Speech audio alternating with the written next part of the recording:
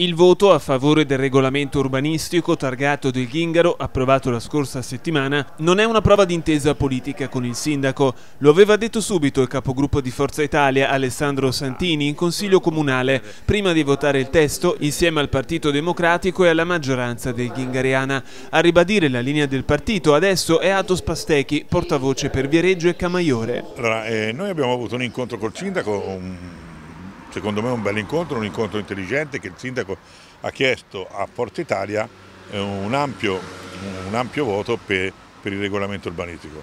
Eh, il nostro ex assessore Bucciarelli ha in tutte le maniere assistito, che è stato il promotore perché è stato anche quello che conosceva il regolamento urbanistico meglio di tutti perché l'aveva fatto, è venuto, ha proposto delle cose al sindaco e eh, insieme al nostro capogruppo Santini e a questo punto qui eh, abbiamo votato il regolamento urbanistico e voteremo tutte quelle cose che il sindaco ci proporrà che facciano del bene alla città. Vede il bel vedere eh, la, la, terrazza della Repubblica, eh, vediamo il Piazza Cavour che è molto importante dove ci sono anche lì dei commercianti che soffrono, ehm, il, il l'asse di penetrazione, il porto, quelle cose che fanno bene a Viareggio, perché dobbiamo dire di no perché l'ha detto un altro? Ma ci mancherebbe. Certamente noi rimaniamo all'opposizione perché il nostro, il nostro, il, la nostra città ha ritenuto che noi siamo all'opposizione, rimaniamo all'opposizione